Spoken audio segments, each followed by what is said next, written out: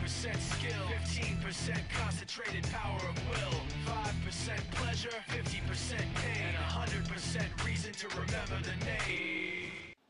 Hey guys, it's Wednesday on the Rebels, and I'm Amber Sweeney. And this week we're doing a yearly roundup, um, covering kind of all of our highs and lows of the past year. Um, I don't have any lows. What is wrong with me? I had a really good year. Um, that sounds really bitchy, doesn't it? Kind of fits my personality. Anyway, um, the year started off with my blog. Um, it was originally called The 104 in 365, and once I realized people were reading it and checking it out, I gave the blog a facelift and a new name to what you know it as now as me, myself, and then everything just sort of um, took off from there. I got to meet a lot of really cool authors through uh, meet and greets. People like Courtney Allison Moulton, Claudia Gray, Leah Clifford, um, Kimberly Derting, Kendare Blake, to name a few. I got the amazing opportunity to help Leah design and make some t-shirts for about her book, A Touch Mortal, and uh, make a cafe press store for that, so that was a lot of fun.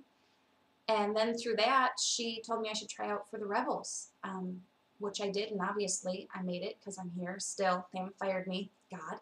Uh, but some of my vlogs have been pretty questionable, so um, that pink slip shows up. I'm going to understand why. I also got to have dinner with uh, with the amazing Tessa Gratton and her pals Maggie Stiefvater and Brenna Yovanoff. They were in town here in Minnesota for something, and they came to one of my book club meetings, which is which is crazy. It was very strange. Um, it was it was great having them, but just to know that I was sitting there having having dinner with these amazing people um, was really cool.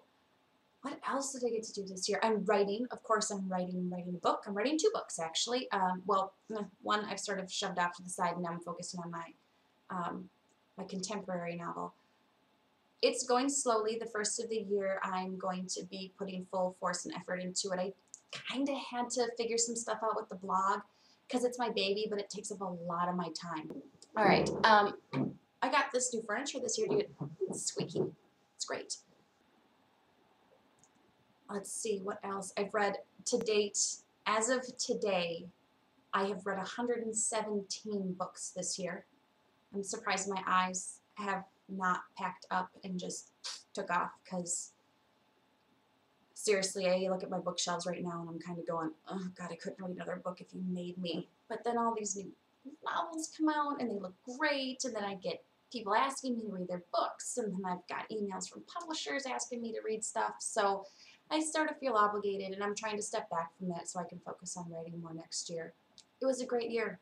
And, uh, and I have you guys to thank for that actually because uh, obviously you guys are watching these videos and um, popping onto my blog. And by the way, speaking of the blog, shameless plug here, guys, but it is Wednesday, so it's okay.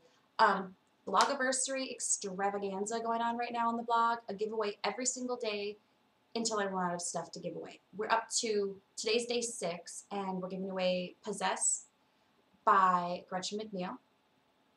Awesome. Okay. And um, I have giveaways scheduled until so far the 1st of January. So go to the blog, click the button, enter them all, and um, see you guys next year. Happy holidays. It's cold outside. This evening has been hoping that you